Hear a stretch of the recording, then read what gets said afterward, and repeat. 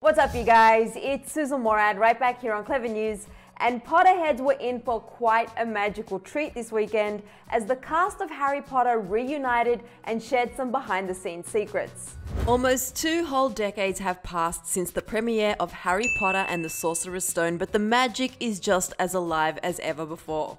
In honour of the 19th anniversary of the first film's debut, the cast of Harry Potter, including Daniel Radcliffe, Tom Felton, Bonnie Wright, Evanna Lynch, Rupert Grint, and many others took part in a virtual reunion as they reminisced on some of their fondest memories while filming together. After hinting about a special reunion last month, Tom Felton, who plays Draco Malfoy in the movie adaptation of the popular books, hosted the live event via the platform Veeps, using the hashtag 19 years later, which instantly began trending on social media. Together, the cast laughed as they recalled many behind the scenes moments that went down while filming. Rupert Grint, who played Harry's best friend Ron Weasley, just welcomed a new baby girl with his girlfriend Georgia Groome, but was able to take a break from dad duties to pop in and share some never before heard memories. He began by admitting that he wasn't exactly the most professional when trying to film serious scenes, detailing his incessant laughing problem, and even admitting that at times it would get so uncontrollable that he and Daniel would have to actually film scenes separately. The first film, the scene where we're in the train carriage, we literally had to shoot that separately. So whenever you watch that, we're never in the same carriage because we couldn't look at each other in the eye.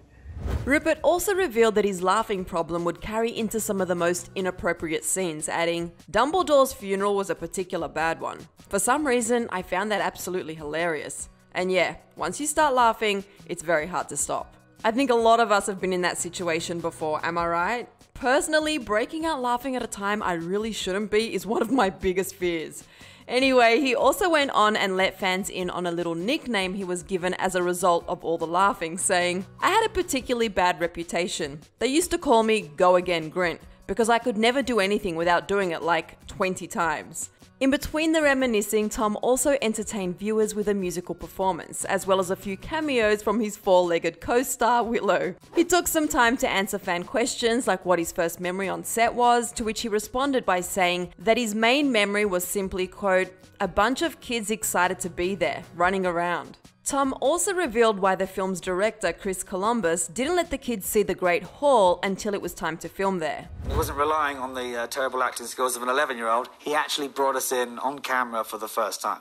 So when you see us looking around going, woo, no acting skill required at all. Although Emma Watson, who played Hermione Granger, wasn't able to make this year's live event, Fans were thrilled to hear some good news delivered by Daniel Radcliffe, who teased an epic reunion for next year's 20th anniversary. Well, my first thoughts are that this this is but a, a mere preview of the nostalgia we uh, immersed in next year when it is 20 years since the, the first film was released. On that note, it's safe to assume that Potterheads from around the world were clearly having a blast during Saturday night's live stream, as many took the opportunity to thank Tom and the cast for putting a smile on the faces of millions after a year full of hardships and turmoil. One user wrote, I keep watching Tom Felton's home party. It was absolutely brilliant. Thank you so much, Tom, for making me have no worries and just smile for the evening. Lots of love. Another fan tweeted, Thank you, Tom Felton, for making us all feel the love and nostalgia tonight. The beautiful memories we made watching this amazing cast grow up and reminiscing together 19 years later. We're so proud of you, Tom, and we love you so much. Ah, what a successful Harry Potter hangout this was. But it only makes us that much more excited about the big 2-0 come next year. And to see how Tom Felton recruited his father from the films for a recent TikTok challenge, click right over here for another clever video. Then be sure to let me know all of your thoughts on the Harry Potter reunion and also what were you most surprised to hear about in the comment section below. I'm your host, Sussan Mourad. You can find me on Instagram at Sussan underscore Mourad. I'll catch you later. Bye guys.